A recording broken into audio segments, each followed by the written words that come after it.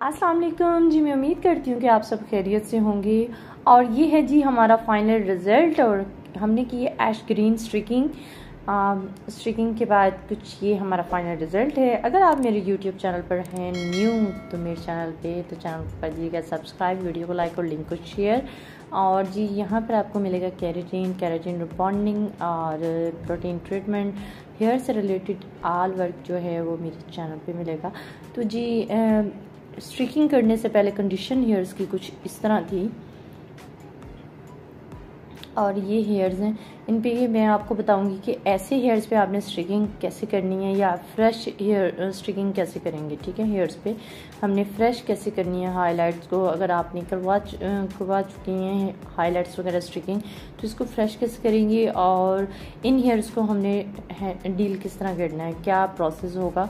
कि आप एक फ्रेश हाईलाइट्स कर कर सकें। और एश ग्रीन स्ट्रिकिंग के लिए मैं मटेरियल लिया जी eight M Q B C plus का। एट एम क्यू कलर और इसके साथ हमने यूज़ किया टेन वॉल्यूम ठीक है? टेन वॉल्यूम के साथ ही आपने जो है eight M Q eight M Q की एप्लीकेशन करनी है। वन बाय वन का रेशो रखना है।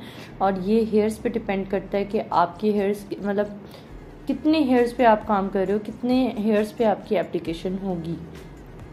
तो हाइलाइट्स पहले से मतलब ब्लीचिंग हुआ हुआ था, बालों को ब्लीच हुआ हुआ था, इनको दोबारा से हैंडल करना था।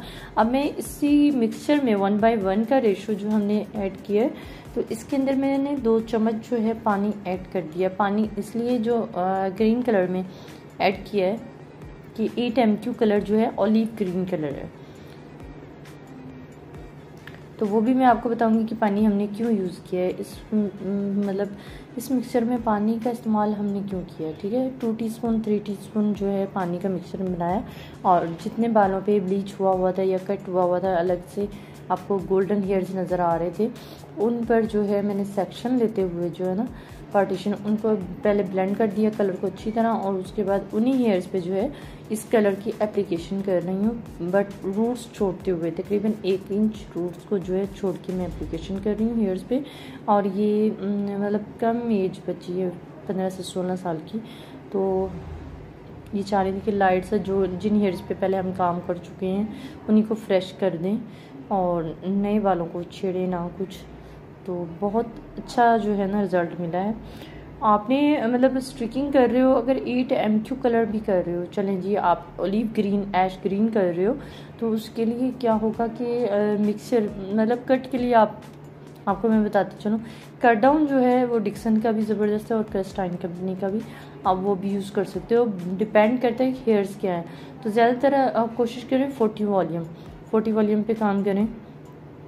लेकिन फोर्टी वॉल्यूम पर काम करने का मकसद ये नहीं है कि आपने फोर्टी फाइव मिनट ही काम करना है। मतलब फोर्टी फाइव मिनट ही फोर्टी वॉल्यूम से एप्लीकेशन की है और उसके बाद उसको फोर्टी फाइव मिनट टाइम दे देना है जी ब्लीच को।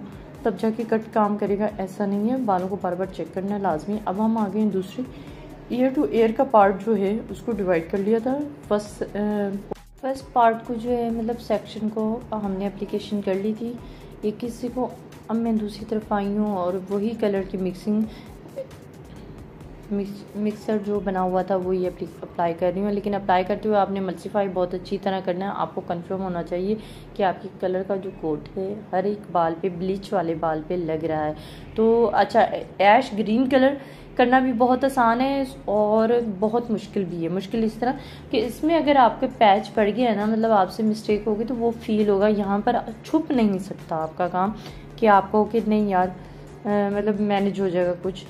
ऐश ग्रीन हो गया ऐश ग्रे कलर हो गया ठीक है सिल्वर ग्रे हो गया। ये ऐसे कलर्स हैं जिनमें आपका वर्क अच्छा और बहुत बेहतरीन और खामियाँ उसमें लाजमी नज़र आएँगी। तो आपकी एप्लीकेशन बहुत अच्छी होनी चाहिए मल्सीफाई बहुत अच्छी तरह कीजिएगा। अच्छा जी, इतनी मेहनत से जो है ना वीडियो बनाई जाती है मतलब मैं इतना वर्क शेयर करती हूँ आपके साथ, फिर रिकॉर्ड करती हूँ, इसको एडिट करती हूँ। एडिट मीन मतलब क्लिप्स बने होते हैं, उन सबको इक्वल करके एक वीडियो जो है ना लॉन्ग वो बन जाती है पाँच छः मिनट की। बहुत कोशिश करती हूँ कि कम टाइम की हो, लेकिन कुछ ब्रीफिंग इस तरह देनी पड़ती है हेयर्स के अकॉर्डिंग मुझे तो इसलिए उसके जो है टाइम ज़्यादा लग जाता है, ठीक है? तो बहुत मेहनत के साथ ये वीडियो बनाती हूँ मैं और उसके बाद रिकॉर्ड करती हूँ रिकॉर्डिंग सबसे ज़्यादा मुश्किल है। क्योंकि मुझे ये लगता है कि आप जो देख रहे हो ना, जो आप चाह रहे हो ए टू जी मैं आपको बता दूँ उसके बारे में। तो वीडियो मेरी मेहनत का सिला सिर्फ़ ये दीजिए, दिया करें कि वीडियो को स्क्रिप्ट ना कीजिए, किया करें और वीडियो को लाइक कर दीजिएगा, कर दिया करें और लिंक को शेयर मतलब वीडियो को लाइक अब व्यूज़ इतने आते हैं और लाइक्स कम आते हैं, बहुत ही हार्ड होती हूँ तब तो मैं। अच्छा जी रूट्स पे हमने अप्लाई कर लिया था वन इंच छोड़ के, अब एंडिंग में जो बाल बैक साइड पे ब्लीचिंग थे उन हेयर्स पे भी अप्लाई कर दिया है। और इसको मैंने टाइम दिया 15 मिनट और पानी इसलिए यूज़ किया था कि बहुत ज़्यादा शार्प ग्रीन ना हो जाए। तो वीडियो पसंद आई हो तो लाइक कर दीजिए लिंक शेयर और मेरे चैनल को सब्सक्राइब अल्लाह हाफिज़।